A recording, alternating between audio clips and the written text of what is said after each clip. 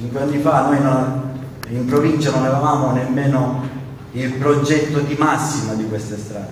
Abbiamo fatto redigere i progetti di massima, i progetti esecutivi, abbiamo reso i progetti cantierabili grazie all'aiuto e alla vicinanza dell'ufficio, eh, soprattutto nella persona dell'ingegnere Ciccio Dinè. Eh, tramite degli interventi eh, martellanti abbiamo cercato di portare su varie fasi eh, la, la, il finanziamento di queste opere, infatti una è stata finanziata per 980 mila euro e l'altra è stata finanziata per 353 mila euro.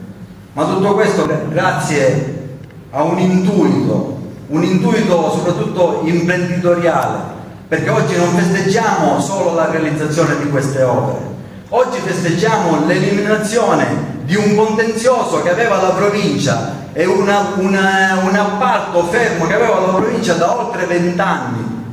Che parliamo del vecchio appalto che fu bloccato uh, perché praticamente eh, la ditta che aveva vinto l'appalto erano di mafia, quindi vent'anni di, di, stallo, vent'anni di fermo e nessuno, nessuno mai diceva qualcosa. L'intuito imprenditoriale ci ha portato a prendere questi soldi che erano quasi, eh, erano quasi 21 milioni di euro, eh, a prendere questi soldi, mantenerli nel nostro territorio realizzando tre opere importanti ed indispensabili che sono la, la SP1, la SP61 e la Frana, la Frana famosa che da oltre 15 anni eh, rende impercorribile la strada del, della zona industriale.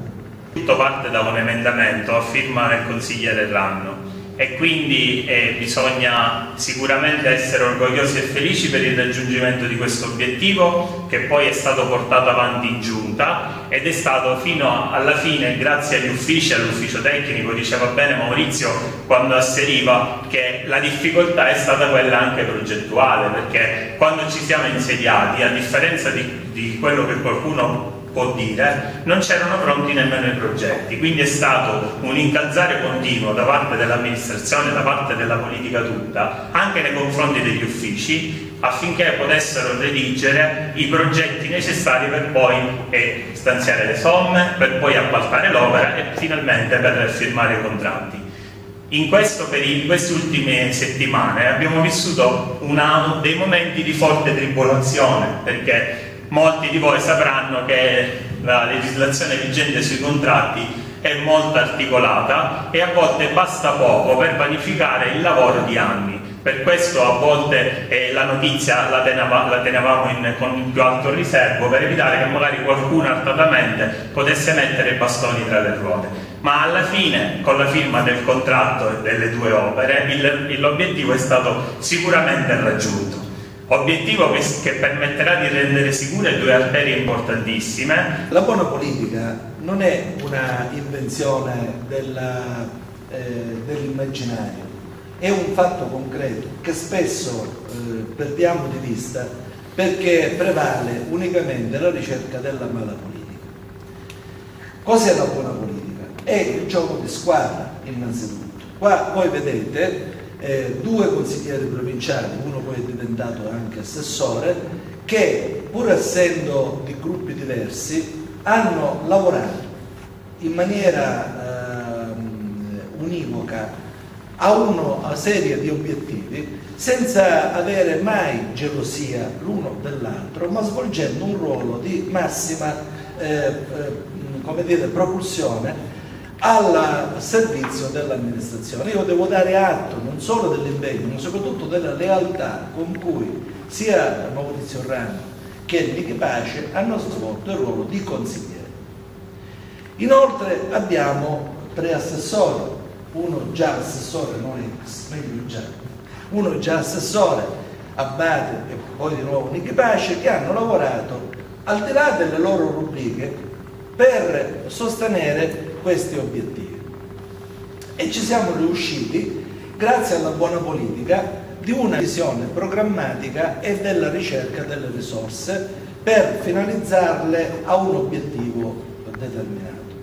Ma la buona politica è stata anche il modo con cui abbiamo gestito queste opere. La strada provinciale 1 ha visto il concorso di 260 imprese. 260 imprese hanno fatto istanza e hanno partecipato al bando per l'aggiudicazione dei lavori. È capitato che una volta definita la gara, alcune imprese hanno fatto delle opposizioni che si chiamano tecnicamente in fase di precontenzioso, cioè prima di rivolgersi al TAR hanno presentato istanza per sollevare, secondo loro, anomalie nelle procedure.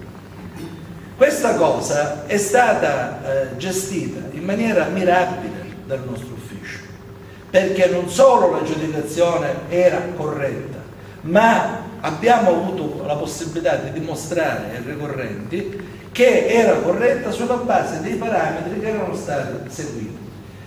Poi abbiamo aspettato 40 giorni per firmare il contratto, perché volevamo vedere se le nostre argomentazioni erano condivise o meno. Eh, a tutt'oggi non è arrivata nessuna opposizione, abbiamo fatto quindi la firma del contratto della SP1 il 5 aprile e stamattina, diconsi stamattina, abbiamo firmato il contratto per la strada provinciale 61.